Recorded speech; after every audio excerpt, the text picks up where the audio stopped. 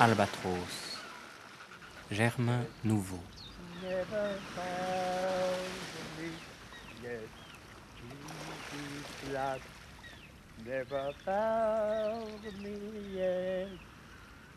Une émission d'Alain Borel.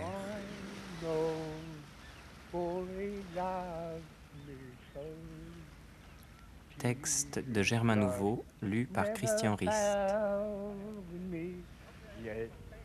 Never found me yet, Jesus' blood never found me yet.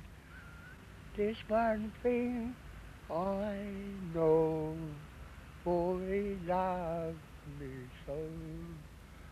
Jesus' blood never found me yet, never found me yet. Jesus' blood never found me yet. This one thing I know, for he loved me so. Aix-en-Provence, 1902. Un dimanche matin, Cézanne sort de l'église du Saint-Esprit. Il a son habit du dimanche, chemise blanche, chapeau de forme Kronstadt, et il avise le mendiant posté sous le porche de l'église. Puis il va déposer un écu de 5 francs dans sa sébile. Il s'approche de Léo Larguier, son ami, qui rapporte le fait, et lui dit C'est Germain Nouveau, le poète. Eh bien, ce mendiant, aujourd'hui, il est en Pléiade. Et bien peu de son temps, comme semble-t-il aujourd'hui, connaissent son importance. Never found me yet. This one thing I know, for he loved me so. Jesus' blood never found me yet. Cézanne, la montagne Sainte-Victoire qui forme le fond de ces tableaux, c'est là, dans un village situé à 25 km d'Aix, Pourrières, que naquit Germain Nouveau le 31 juillet 1851 dans une famille de paysans. Son père n'avait que 24 ans et sa mère, Marie-Augustine Sylvie, n'en avait que 18. Paresseux, non, parce que fainéant. Peintre, bien peu, mais pas du tout poète. Fermé par trop ou bien par trop béant. Enfant surtout, mais plus qu'un tel qui tête. Un œil en deuil et l'autre pas en fête, vait sous le ciel, où ne voit que corbeau, mais soit privé de vin ou de piquette, qui n'a pitié du gueux germain nouveau. Pauvres, ils viennent tenter leur chance à Paris, et François Nouveau, son père, vend du nougat.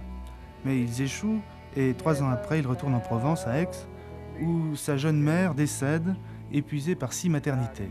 Donc subsistent trois enfants, Germain et ses deux sœurs. François Nouveau, devenu cette fois fabricant de pâtes alimentaires, contracte la variole alors qu'il rendait visite à l'une de ses ouvrières, et cette variole l'emporte en août 1864. Voilà Germain, qui reste avec ses deux sœurs, va en pension au séminaire.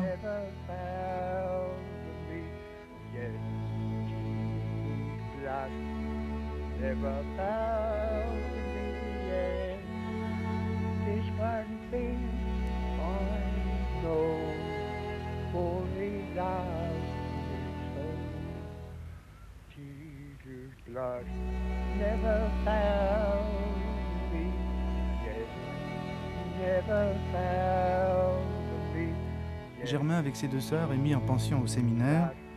Et c'est cet orphelin, en somme, qui gardera de sa mère un souvenir permanent et profond. Sa mère, maman Augustine, morte, elle avait, dit-il, la jambe bien faite. Sa mère, il en est profondément amoureux. L'amour de sa mère, son désir de séduction, il le poussera toute sa vie à la sublimation. Et l'amour, chez lui, est lié profondément à la mort. Il entraîne tous les excès et tous les renoncements. Dans un vers, il écrit par exemple plus tard que l'on m'enterre en faisant un trou dans ma mère. C'est un peu comme s'il se sentait responsable de la mort de sa mère, à la façon dont Van Gogh avait toute sa vie culpabilisé la mort prématurée d'un de ses premiers frères. Beaucoup plus tard, dans Doctrine de l'amour, on pourra lire L'enfant ancien sommeille en moi, gardant le souvenir de la faute première. Cet amour profond lié à la mort fait que rien ne se structure profondément chez Germain Nouveau, et par exemple, il n'est que de voir la liste de ses pseudonymes.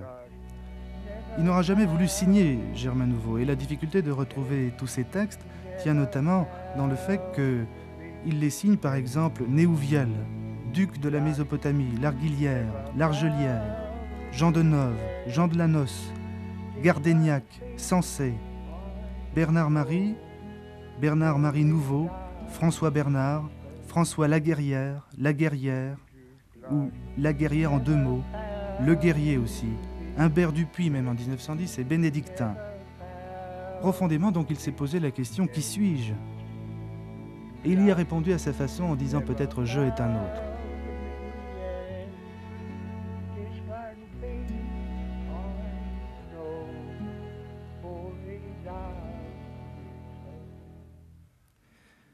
Non assez bizarre puisque je découvre en son anagramme amour ingénu et puis va. Tiens, regarde, je lis encore amour igné et puis va nu. Je lis encore pour toi sans doute amour ingénu puis Eva. Ces deux majuscules G-N qui font songer à la GN semblent les portes de l'enfer. Plus tard, après la mort de sa mère, François Nouveau s'était remarié. Un jour qu'il leur rendait visite, il se précipite au cou de la nouvelle femme de son père en lui disant Tu vois, si je t'étranglais, on ne me ferait rien, on dirait que je suis devenu fou. C'est un peu comme Verlaine qui met le feu à la chevelure de sa femme ou Rimbaud qui maudit sa mère. Mais il y a plus profondément chez Germain Nouveau une sensibilité extraordinairement féminine, une véritable bisexualité dont on dit qu'elle est originelle chez l'enfant. C'est un être ambigu, ambigu au sens euh, étymologique de ambiguer, tourner autour, ou bien euh, au sens où Freud parle de l'ambivalence. Dans Totem et Tabou, Freud dit que le tabou est né sur le sol d'une ambivalence affective. Cette ambivalence, l'amour et le thème de la mort se retrouvent, se poudroient dans certains poèmes emblématiques. Sans verte étoile au ciel, ni nébuleuse blanche, sur je ne sais quel Styx morne, au centre de l'eau magnifique qui vibre autour de lui sur l'eau, mélancoliquement, mon esprit fait la planche. Après avoir été pion dans le lycée de Marseille, Germain Nouveau arrive à Paris en 1873. Il a juste 20 ans. Pas très grand, 1m61, de type oriental, brun avec de longs cheveux, une tête chevaline de Christ roux, le voici qui dilapide très rapidement tout son héritage. Verlaine dit de lui que c'est le plus petit des bipèdes, et lui-même d'ailleurs se définit de cette façon auprès de Jean Richepin, l'un de ses amis. Moyen ne suis, encore moins géant, d'un joli lait, et bête, oui, mais trop bête. Tantôt assis, tantôt sur mon séant, tantôt mes pieds supportant mon squelette. Tête, je n'ai que pour faire une tête, n'ayant rien plus, ni de pipe au chapeau. Mais aille dans la lune ou la lunette, qui n'a pitié du gueux Germain nouveau. Il erre avec Jean Richepin et celui-ci lui apprend à jongler avec des bouteilles à la foire de Neuilly par exemple. Germain Nouveau fréquente les groupes de poètes de cette époque, groupes un peu marginaux déjà, qui s'intitulait Les Utistes, Les Hydropathes, Les Vivants. Donc il y a une errance quotidienne et quotinocturne de noctambules, de tous ces cabarets qui s'appelaient La Nouvelle Athènes, La Fontaine, Le Rat La Grande Pinte. On les voit traîner dans les balles publiques de Montmartre, la Reine Blanche, la Boule Noire, le Château Rouge, l'ancien Moulin de la Galette aussi, le Grand Turc, ou bien même à Montparnasse, le Prado est le fameux bal constant de la rue de la Gaîté. Bohémiens, peuples libres, esclaves, ô vous les blonds, et blancs comme des raves, et vous les bruns, noirs comme des navets, c'est moi qui suis le poète aux yeux caves. Pitié, pitié pour mes vers polonais. Pour tout mobilier, Germain Nouveau dispose d'un grand canapé, lit, divan, fauteuil, enfin tout à la fois, et il ne tarde pas à le vendre à un brocanteur de la rue de Sèvres. Le voici qui reste étendu sur le carreau. Son ami de la Haye, qui est aussi l'ami de, de Rimbaud, c'est comme ça qu'il l'a connu, avise une sœur qui s'appelle sœur Joséphine. Sœur Joséphine dit Mais s'il n'accepte rien, au moins qu'il couche dans un lit. Et le lendemain, Nouveau trouve à sa porte un licage, dernier cri, avec euh, des ressorts perfectionnés. Alors Germain Nouveau se précipite euh, auprès de sœur Joséphine et lui demande Ma sœur, est-ce que c'est un prêt ou un don?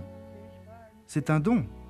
Alors il rentre chez lui, il charge le lit sur son dos, il descend les six étages et il rend le, il rend le licage. Mais la sœur Joséphine, obstinément, lui en dépose un autre le lendemain. Germain Nouveau, une fois de plus, descend le licage et le rend. Et puis sœur Joséphine s'obstine et une troisième fois lui apporte un licage, mais cette fois, Germain Nouveau dort à côté. Mon père était un loup dans les forêts, ma mère fut une chienne au crin flave, et j'ai grandi dans les joncs des marais. Mais à ce moment, nous sommes au grand tournant, en mars 1874. Germain Nouveau est au café Tabouret, près de l'Odéon. Dans le fond du café, il y a un buveur solitaire qui se tient à l'écart. On le désigne comme étant Rimbaud. Rimbaud, en 1874, était bien plus célèbre pour euh, la grande échappée qu'il avait faite avec Verlaine et qui occupait toutes les conversations que pour La saison en enfer qu'il venait de publier quelques mois auparavant. Nouveau aussitôt se lève et se dirige droit vers lui. Il y a dans cette rencontre quelque chose comme une explosion de sang païen, comme disait Rimbaud lui-même. C'est un bel exemple d'attraction passionnelle, une reconnaissance spontanée. Rimbaud, c'est celui qu'on appelait Mademoiselle Rimbaud déjà. C'est aussi l'époux infernal, le compagnon d'enfer. Et Germain Nouveau semble reconnaître en lui celui qui détient la vérité, qui se flatte, comme il le dit à la fin d'une saison d'enfer, de posséder la vérité dans une âme et un corps. Alors au café Tabouret, où il prenait habituellement l'absinthe beurrée, comme il disait, cette absinthe mélangée de genièvre, de bière et d'eau de vie. Rimbaud aussitôt emmène Nouveau en Angleterre. C'est un départ précipité, il file à l'anglaise, il abandonne tous ses papiers. Ça rappelle curieusement l'année précédente où Verlaine rencontrant Rimbaud à la sortie de chez lui, euh, Verlaine était donc euh, rue Nicolet, il rencontre Rimbaud qui, passait par là, et aussitôt, Verlaine néglige même d'aller à la pharmacie, de remonter les médicaments à sa femme malade, et part avec Rimbaud. Eh bien, c'est de cette façon euh, analogue que Germain Nouveau euh, abandonne précipitamment euh, toutes ses affaires et ne prend même pas le soin de donner la clé de sa chambre à un ami et part sur le champ en Angleterre. Londres, 26 mars 1874. Mon cher Richepin, j'ai quitté Paris au moment où je m'y attendais le moins. Je suis maintenant, comme tu vois, avec Rimbaud.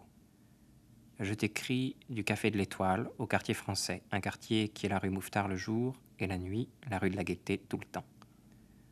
Nous avons loué une room dans Stamford Street, dans une famille dont le bon jeune homme qui sait un peu de français converse une heure tous les jours avec nous, dans le but qu'il se perfectionne et que j'apprenne quelques vocables. Quant à Rimbaud, il doit se parfaire aussi, sachant assez pour nos besoins communs. Nous avons pu dépenser peu de ronds grâce à notre reconnaissance des lieux, où on tortore aussi magnifiquement bon marché que chez Polydore. Pour quatre ronds, c'est une assiette de frites et de poissons hautes comme ça, chez le ci-devant Dupont, français anglomanisé. Le second soir, nous nous sommes égarés en passant la Tamise, pour avoir voulu seulement passer par un autre pont. Non finissent par les ponts et combien plus haut de parapet qu'au bord fleuri de la Seine.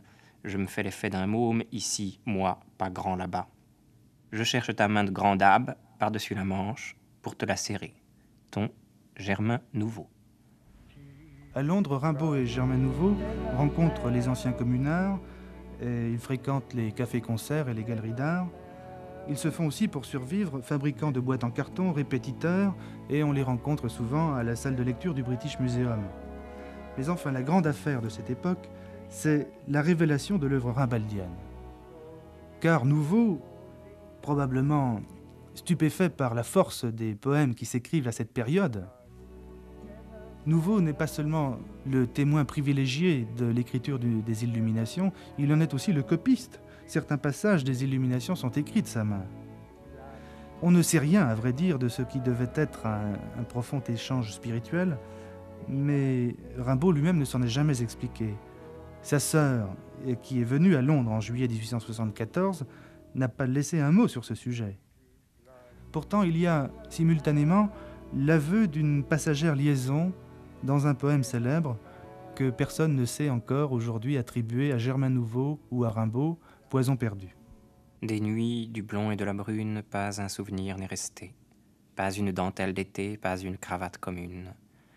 Et sur le balcon où le thé se prend aux heures de la lune, il n'est resté de trace aucune, pas un souvenir n'est resté. Seul, au coin d'un rideau piqué, brille une épingle à tête d'or, comme un gros insecte qui dort. Pointe d'un fin poison trempé, je te prends, sois-moi préparé aux heures des désirs de mort. S'il faut sans doute attribuer à Germain Nouveau ce poème de Poison perdu, en tout cas André Breton l'affirmait avec violence, on peut aussi penser que, d'une certaine façon, Poison perdu, ce sont les deux à la fois. C'est à la fois Germain Nouveau et Arthur Rimbaud, ou plus exactement Germain Nouveau se donnant devant Arthur Rimbaud le rôle de la brune dont il est question. Est-ce qu'on n'entend pas aussi la personnalité de Rimbaud lorsque Germain Nouveau, en 1875, écrit cette phrase par exemple Nous sommes fils de vrai soleil dans les brouillards saligots et ces rues basses de ciel tombé à terre. Il n'y a, a, pas de doute que la fréquentation de Rimbaud modifie de façon décisive la vision de Nouveau et euh, surtout son écriture. Désormais, la littérature n'est plus un art, mais pour le dire facilement, elle n'est un art de vivre. Fondamentalement, ce que Rimbaud cherchait, c'est commencer à changer la vie, à transformer profondément la littérature avec la vie. Et Germain Nouveau était le plus pur disciple de cette euh, perspective euh, pure. Il l'était par son innocence. Il l'était aussi dans la mesure où la personnalité de Rimbaud pouvait accentuer en Germain Nouveau quelque chose de sa féminité, ce en quoi d'ailleurs il était le plus profondément créateur. Et ce qui est frappant chez Rimbaud, c'est qu'il se conduit de toute façon avec Verlaine comme avec Germain Nouveau, un peu comme euh, ce personnage mystérieux du, film de Pasolini Théorème. C'est ce mystérieux jeune homme qui arrive dans une famille bourgeoise et, et qui sème un trouble à la fois sexuel et métaphysique. Euh, D'ailleurs, Rimbaud est cité dans le film Théorème, et même euh, le personnage principal, Terence Stamp, joue dans un autre film le rôle de Rimbaud, dans un film assez mauvais d'ailleurs, mais il représente l'ange et le démon à la fois. Comme disait Mallarmé, la puberté perverse et superbe. Rimbaud fait des ravages chez tous ceux qu'il rencontre. Historiquement, la, la trinité Rimbaud, Verlaine, Nouveau apparaît figée alors qu'elle est extraordinairement en mouvement. Verlaine attire Rimbaud, puis Rimbaud le capture dans son champ d'attraction, puis Rimbaud quitte Verlaine, Rimbaud séduit Nouveau, Verlaine attire Rimbaud, Rimbaud quitte Nouveau. Bref, il y a là un grand ballet amoureux d'adolescents. Mais ces quelques mois de vie commune précipitent, euh, pour le moins, l'évolution du poète euh, provençal, et on peut dire qu'il a eu auprès de Rimbaud la révélation paradoxale d'une féminité profonde en lui et en même temps d'une forme de mysticisme. Je suis pédéraste dans l'âme, je le dis tout haut et debout. Assis, je changerai de gamme et couché sur un lit, madame, je ne le dirai plus du tout. La pédérastie est un vice, c'est l'avis de mon médecin. Je le crois. Il n'est pas novice quand il soutient que l'exercice le plus naturel, le plus sain, sain comme la mère et son hâle, l'honneur même de la maison qui fait le regard le moins pâle, le plus magnifiquement mâle, sans aucune comparaison, le plus ravissant sur la terre, c'est de froisser le traversin d'une femme qu'on désaltère quand elle serait adultère, quand elle n'aurait qu'un seul sein. C'est là le sentiment intime de tous les peuples sous le ciel et je me fous pour la maxime que l'exception règne ou rime même d'un air spirituel. C'est l'opinion du plus sage chez les Slaves au regard clair, chez les Germains au doux visage, chez les Latins au beau langage et chez les Bretons au cœur fier. C'est la tienne, aimée, et la nôtre, c'est celle de tout bon cerveau, qui n'a contre elle qu'un apôtre, un monsieur pourtant comme un autre Son nom devra rimer en veau. Son nom, voyons. Comment, madame, son nom Mais puisqu'il n'est pas pur, il souillerait ce nom infâme tes chastes oreilles de femme. Et puis moi, je n'en suis pas sûr. Si c'était une calomnie, qu'une apparence aide à courir, je ferais une vilainie. Son nom. À jamais de la vie. J'aimerais mieux cent fois mourir. Oui, ce vilain soupçon nous gêne et pourrait submerger un jour près de la niche avec la chaîne l'amitié, cette belle chienne qui hurle à sa lune d'amour. Pour moi, vous remarquerez comme j'ai quelque grâce à protester. Passant pour la moitié d'un homme, n'aurais-je pas le droit, en somme, de chercher à me compléter? Or, je ne suis pas pédéraste. Que serait-ce si je l'étais? Voyez, madame, quel contraste. Ah, par la perruque d'Éraste. Et maintenant, si je pétais Retour à Paris, le plus grand désir, dit Germain Nouveau, c'est d'arriver à ne plus saluer aucun blémon d'aucune poésie et d'aucun républicanisme. Un échange de lettres extraordinaire entre Verlaine, Delahaye et Nouveau pour savoir où se trouve Rimbaud. Comme pour se rapprocher de Rimbaud, Germain Nouveau s'installe un temps à Charleville, où il trouve un travail à l'Institut Barbado. Mais euh, on le surprend une nuit à faire un punch dans un pot de chambre avec euh, les pensionnaires, et son séjour à Charleville est écourté. C'est à ce moment donc que Germain Nouveau fait la rencontre de Verlaine. S'il n'y avait pas eu encore de rencontre entre les deux hommes. C'est Rimbaud qui, une fois de plus, est à l'origine de l'affaire. On sait que sortant de prison, Verlaine s'était précipité à Stuttgart, comme il disait, pour rencontrer Rimbaud, avec euh, un chapelet au pince, dira Rimbaud, et euh, celui-ci, donc, après l'avoir roué de coups et laissé au bord d'une écart, lui transmet des poèmes en prose avec mission de les faire parvenir à Germain Nouveau pour les publier. Ça se passe à peu près à la fin du mois de février 1874. En avril, Verlaine demande à son ami Delahaye tu connais Nouveau? Qui est celui-là? Quel monsieur moral est-ce? Ce monsieur moral, c'est une autre forme de la féminité révélée en somme par Rimbaud. Et cette fois, le couple Nouveau-Verlaine, parce que Nouveau et Verlaine se trouvent à, Londres ensemble à leur tour, retrouve tout le côté saturnien qui était également chez Germain Nouveau. Mais entre eux, entre Germain Nouveau et Verlaine, se développent cette fois toutes sortes d'interférences. Il y a une véritable influence réciproque. Mais la rencontre de Verlaine et de Nouveau, qui au niveau de la sensibilité, est celui du langoureux, de la poésie amoureuse et même érotique aussi, est aussi celui du chant religieux.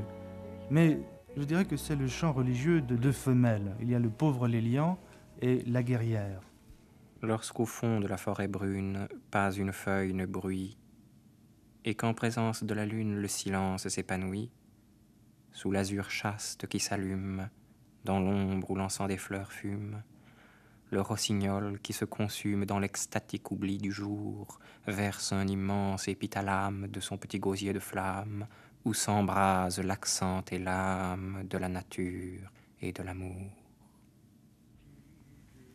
Verlaine invite Nouveau à le rejoindre du côté d'Arras et euh, Nouveau visite, grâce à Verlaine, la maison d'un saint, en réalité c'était un bienheureux, c'est Benoît Labre à Hamet. Et l'impression sera grande et durable, tout à fait bouleversante. Un peu plus tard, Nouveau peint le Christ de l'église de Saint-Géry et offre le tableau à Verlaine, qui le place à son chevet et écrit à propos de ce tableau du Christ peint par Nouveau un poème qui se termine par ces vers un ami qui passait bon peintre, bon chrétien et bon poète aussi, les trois s'accordent bien, vit cette œuvre sublime, en fit une copie, exquise, et surprenant mon regard qui l'épie, très gracieusement chez moi vint l'oublier. Et j'ai rimé ces vers pour le remercier.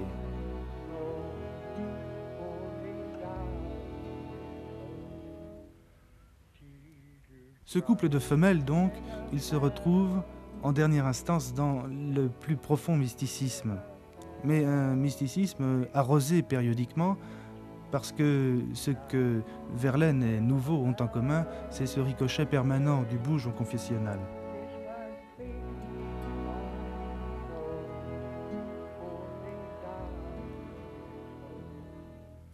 Après avoir donné sa doctrine de l'amour à Léonce de l'Armandie, admirateur qui deviendra son éditeur, Germain Nouveau reprend son bâton de pèlerin et part au Liban. Il se trouve à proximité des lieux saints, mais Germain Nouveau en Terre Sainte euh, redevient ce petit abbé érudit et moqueur, une sorte de moinillon, un merle moqueur, et il convoite la jeune femme du village, mariée, mère de famille, au grand scandale de la population. Il est alors euh, chassé et on le voit errant dans les rues de Beyrouth. Une sorte de conte oriental circule à son sujet à, cette époque, en 1884, car il se serait épris d'une jeune aveugle qui mendie son pain sur les trottoirs, et cette compagne de misère, il l'envoie tendre la main à sa place à Bab Edris, à la place principale de Beyrouth ou ailleurs. Toujours à ascète et jouisseur en même temps, Germain Nouveau, de retour à Paris, s'éprend également d'une mystérieuse Valentine, Valentine Renaud dont on ne sait rien, sinon que ce personnage, qui reproduit d'une certaine façon l'amante mère, a donné à Germain Nouveau quelques-uns de ses plus beaux poèmes, intitulés précisément Les Valentines. Au cycle célèbre des baisers admirables, dans euh, ce, ce recueil Les Valentines, se substitue périodiquement l'aspect violemment scatologique de Germain Nouveau.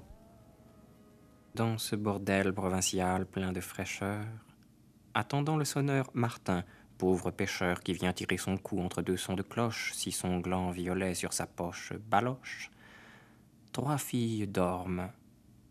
Ah, doux repos vaginal. Et leur rêve est bercé par le chant virginal des enfants de Marie, au jardin de la cure. Mais c'est le sacristain qui leur bat la mesure, car tout se mêle en songe, et le vide lilas saccade dans le rythme l'Ave Maris Stella. Germain Nouveau n'a pas de maître. Il dit lui-même À personne au moins nous n'aurons dit mon maître. Ça rappelle le, cri de Petrus Borel en préface de Champavert, disant que euh, au moins on ne pourra pas l'accuser d'avoir fait la paillasse de personne. Mais simultanément, Germain Nouveau est très profondément instable. Euh, sans cesse, il y a des palinodies et une véritable versatilité de sa part. Il s'explique aussi, il faut le dire, par un affaiblissement physique du poète. Cependant, si Rimbaud le voulait fils du soleil, c'est dorénavant la figure de Verlaine qui sera dominante. Germain Nouveau, par exemple, est nommé dans une longue carrière qui va le conduire droit à l'échec à Bourgoin, professeur de dessin. On a retrouvé l'annotation du recteur à propos de sa période à Bourgoin. Année classique 1886-87. Le service de M. Nouveau laisse beaucoup à désirer. Peu d'exactitude de travail, de méthode et par suite aucun résultat. Il néglige ses élèves au point de les laisser entièrement livrés à eux-mêmes pendant les classes et de s'occuper exclusivement devant eux de sa préparation au certificat de dessin. En réalité, M. Nouveau n'a rien d'un professeur, et je demande instamment qu'il soit remplacé par un maître plus instruit et plus consciencieux. À Grenoble, le 30 juillet 1887, le recteur. Germain Nouveau enseignera aussi à Remiremont. Euh, d'ailleurs, Rimbaud était passé par là quelques années auparavant.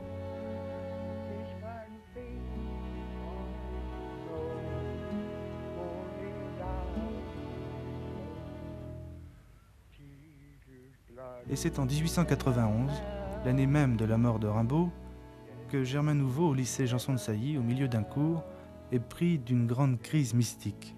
On a dit que c'était un délirium très mince. Il s'est mis à déclamer toutes ses prières, à lécher le sol, à s'étendre par terre en croix et à serrer sa canne entre les dents. Aussitôt, il est interné à Bicêtre, et à Bicêtre, on le prive de vêpres afin de ne pas alimenter son mysticisme. Cependant, il chante à tue-tête dans sa cellule. Les fous ont tous les droits, dit-il. Or, je suis officiellement fou, privilège qu'il partageait avec Sade ou le Tasse. Pourtant, ce délire mélancolique, la stupeur, les hallucinations de Louis, les génuflexions extravagantes sur la voie publique, dont il est accusé au terme du rapport médical, ne sont chez lui sans doute qu'une façon délibérée de marquer son désir de liberté sans entrave, et même de formuler ce qui restera la grande euh, trajectoire finale de sa vie, de formuler sa foi. Et en 1897, il prend pour ne plus les quitter la robe de bure, le bissac et le bâton de pèlerin. Aimez vos mains, afin qu'un jour vos mains soient belles. Il n'est pas de parfum trop précieux pour elles. Soignez-les. Taillez bien les ongles douloureux. Il n'est pas d'instrument trop délicat pour eux. C'est Dieu qui fit les mains fécondes en merveilles. Elles ont pris leur neige au lys des séraphins. Au jardin de la chair, ce sont deux fleurs pareilles, et le sang de la rose est sous leurs ongles fins. Lâchés dans la forêt des orgues le dimanche, les doigts sont des oiseaux, et c'est au bout des doigts que, rappelant le vol des jets de branche en branche, rient les saints familiers des signes de la croix. À pied, il se rend à Saint-Jacques-de-Compostelle. Là, il entend euh, une voix qu'il appelle en Provence à la Sainte-Baume, où mourut Madeleine. Il s'engage ensuite comme balayeur de pont sur les navires qui font le service d'Alger. Deux fois encore, il fait à pied, en vivant d'aumône, en tirant le portrait euh, aux gens de passage, le pèlerinage de Rome. On le voit aussi à Paris. Mademoiselle Delahaye, la fille du poète, se souvient encore de l'avoir vu quelquefois à la grille de la maison, et il se tenait là comme un mendiant qu'il voulait être, mais jamais il n'a accepté d'entrer. C'est que l'influence peut-être là de Rimbaud avait déterminé, comme Rimbaud, un renoncement profond à la poésie. Rimbaud, lui, avait, à Roche en 1873, brûlé les quelques exemplaires de la saison en enfer qu'il avait réussi à soutirer à l'éditeur. Et lui, nouveau, qui vit de pain et d'eau et de prière, qui vit en anachorète, va devenir l'hérésiarque de son œuvre lui-même, va se livrer une sorte d'autodestruction d'une partie de lui-même. Il a une seule idée en tête, détruire, Rimbaud aussi disait détruisez, je le veux à, Dominique, détruire le manuscrit des poésies d'Humilis. Humilis, c'était ce nom qui lui convient si bien, dont il signait les poèmes chrétiens. Pour le manuscrit, c'était vite fait, mais pour les copies, c'était plus difficile. L'Armandie, avant de lui en donner une copie, en faisait une autre. Et il en a fait ainsi successivement 25 en 30 ans. Mais pressé dans ses derniers tranchements, l'Armandie obtient un délai de trois semaines euh, pour rendre ce manuscrit à Germain Nouveau. Et pendant ces trois semaines, l'Armandie apprend par cœur les 2800 vers de la doctrine de l'amour. C'est donc de la mémoire de l'Armandie entièrement que vient l'édition de 1910, une véritable transfusion. Plusieurs fois, on a vu dans l'histoire des écrivains mémoriser leurs œuvres, comme euh, les poèmes de prison de Jean Cassou, ou surtout comme euh, Solienitsyn. Mais de la part d'un éditeur, mémoriser les 2800 vers d'un poète, ça doit sans doute constituer un précédent. L'odyssée du livre ne s'est pas arrêtée au manuscrit, et lorsqu'il paraît en 1910, Germain Nouveau écrit à l'Armandie et dépose une plainte contre lui, mais elle aboutit à un non-lieu.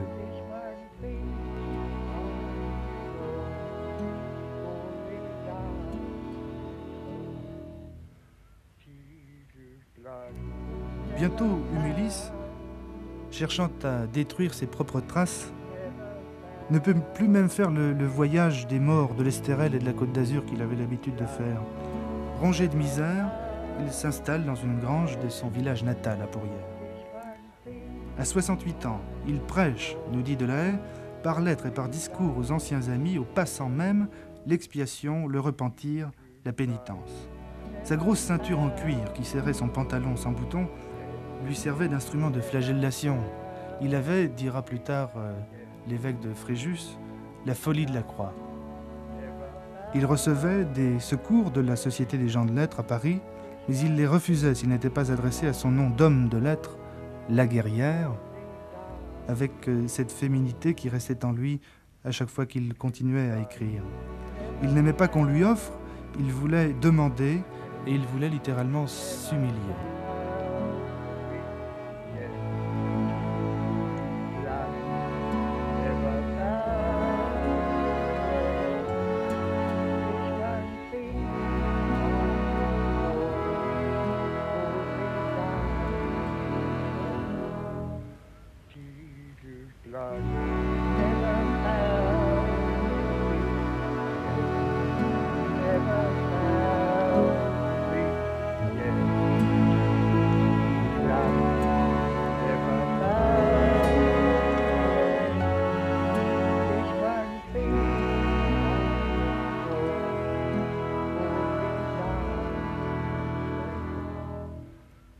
Sur le tard, il discute avec Faux-Breton, qui était attaché à la municipalité d'Aix, et lui dit Vous ne pouvez pas être chrétien et servir un régime qui persécute la foi.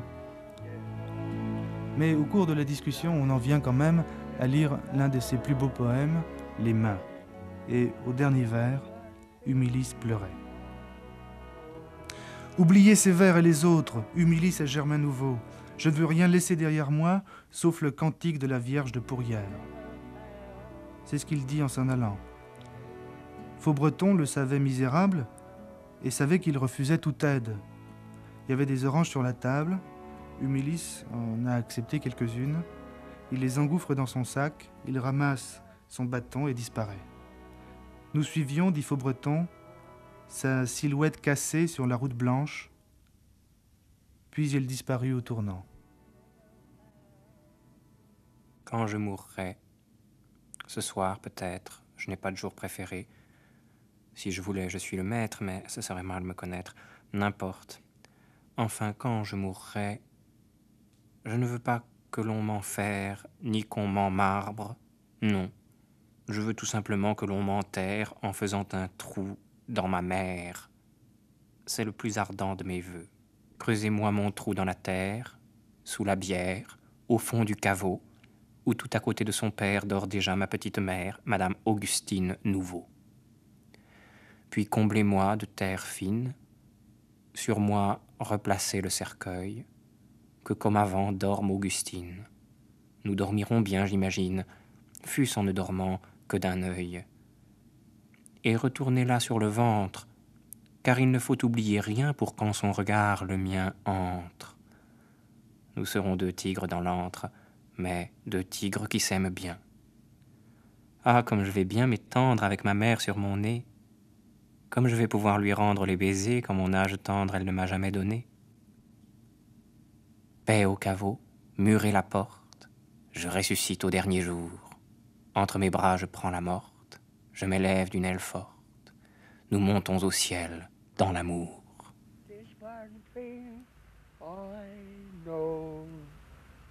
He loved me so. Jesus' blood never found me yet, never found me yet. Jesus' blood never found me yet.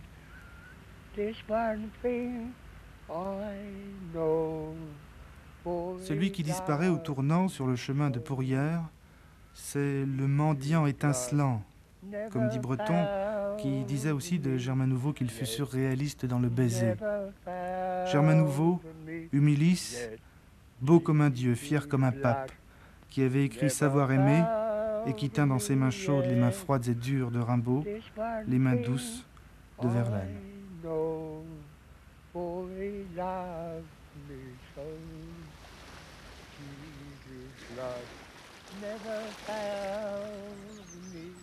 Albatros. Germain Nouveau. Une émission d'Alain Borère. Texte de Germain Nouveau, lu par Christian Rist. Jesus' Blood Never Failed Me Yet, de Kevin Bryas.